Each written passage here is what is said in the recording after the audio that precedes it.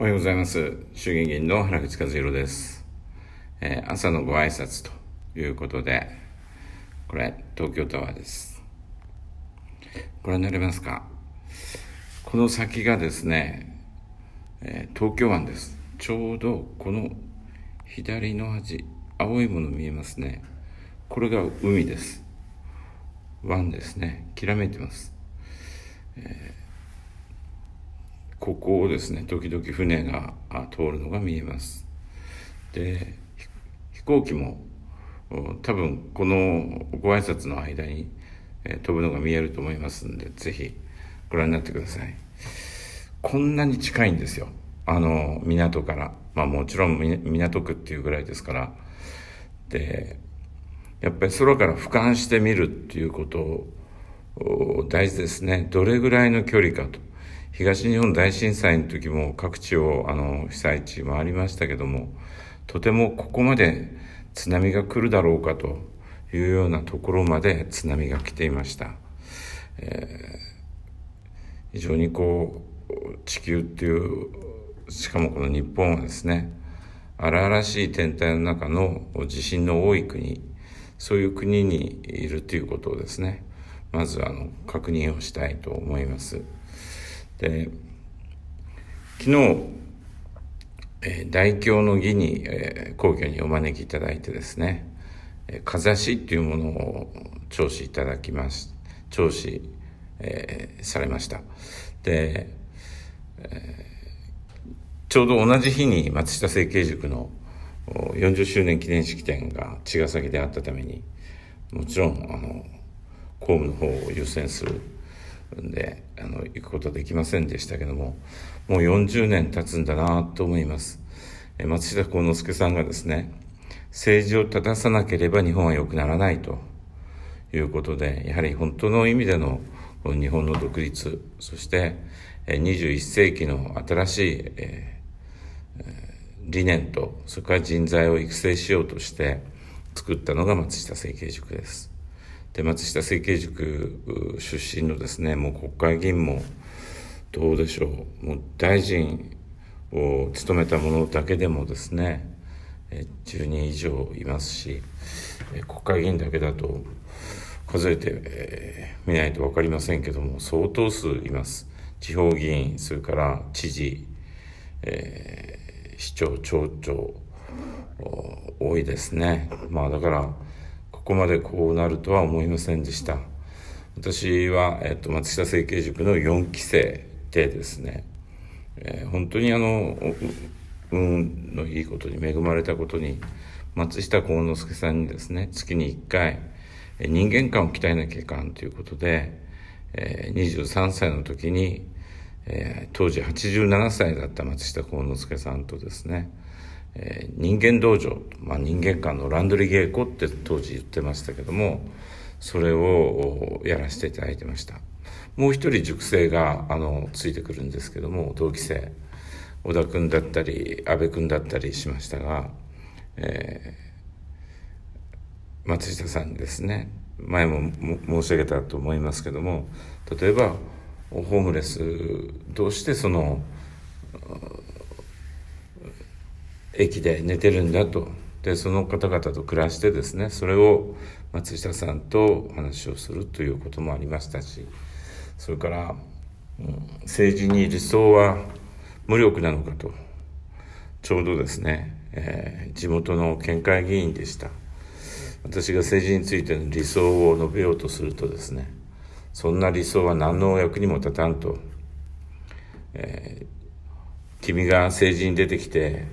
一番最初に君を潰すのは自分だと。そういう話をしました。私は非常に打ちひしがれました、えー、政治がもしそんなあの黒々としたものだったら自分にはとても向かないし、えー、そんなところに入ることはできないと、まあ、地盤も看板もカバンも何もない状況ですし。え月にですね12万3000円の研修費をいただきながら勉強するんですけども理想は無力なのかっていうことを松下さんに聞きました。松下さんの答えは明快だったです。私はそういう明快なでその常にあの若い人を育んでいこうっていう先生に本当に恵まれました、えー、稲森和夫先生もそうですしそれから末次一郎先生もそうです。末次一郎先生には本当にどれだけ怒られたか分かりません、えー、末次先生はまあいわゆるキングメーカー歴代の総理を作るそういうその、フィクサーとまで言われるた人ですけどもそんなフィクサーでは全然なくて本当にあの人を導く真珠会の塾生だけでどれぐらいいるでしょうか。設計塾よりかに劣らないぐらいあのそこから輩出したあ政治家は少なくないんじゃないかなと思います。で松下さんの話に戻りますけども松下さんはですねそれは意志薄弱やでって言ったんです。理想が無力なんていうことは絶対ない。そしてですね清濁合わせ飲みなされって言ったんですよ。えー、清濁合わせ飲むってそれ悪いこともすることですか？って聞いたんです。政治だから理想ばっかり言えないってことですか？って。違うと。清濁合わせ飲むっていうのはみんな誤解してるけどもそういう意味じゃない。清濁合わせ飲むっていうのは理想を追求して世の中にはそういう汚いこととんでもないこともあるっていうことを理解しながら濁を流していくっていうことなんだと濁を飲み込んでそしてその濁を自分が行うっていうことではないんだということでしたそしてですね、本物は長ずれば長ずるほど済むんやでって言ってくれたんですね。本物は長ずれば長ずるほど済む。私ずっとこの言葉を胸の中に置いています。当時、えー、田中角栄さんあそのいわゆる、えー、お金でですね政治を買うということがまあ本当にその世の中の全てみたいに言われていました。まあ、田中角栄さんについても後、またあのお話をしますが、そんなことじゃないんだと。君たちは理想を追求しなさいっていうことでした。あれから、そうですね、私は 設計塾ができて4年後に来てますから、私が卒業してから約32年の時が経ちました。どうでしょうかね。今設計塾この内閣でも、うん、2人、おりましたもうおりましたって過去形にしなきゃいけないんですねでやっぱり切磋琢磨をして本当にその理想をこの日本を次の子供たちに継いでいいか。常にそれを思います、えー、今週もですね佐賀の方で原口政治大学校っていうのをやります。えー、もう私も今年還暦になりました、えー、この還暦っていう年の中でですね、えー、松下さんや末次先生が、まあ、松下さん当時87歳。末次先生はまだお若かったですね。稲森和夫塾長がやってこられたことのまあその ほんのもう一部でもやれたらというふうに思います。飛行機見えましたでしょうか？この時間離発着が多いと思いますけどね、今僕が見てる範囲では、うん、飛んでないような気もします。あ遠くに見えますが多分この写真では見えないかも分かりません今日も皆さんあのたくさんの祝福がありますように、えー、明日ですねまたあの国会、えー、今日もあのいろんな仲間と打ち合わせをしてそして明日からの論戦に備えます。あそれから最後にですね、うん、この日米の FTA について、えー、あの野党陣営の一部から批判をしている人がいます。で最初から審議に入るなと最初からもう国会の審議をボイコットしろと戦わない野党はいらないっていう話ですね。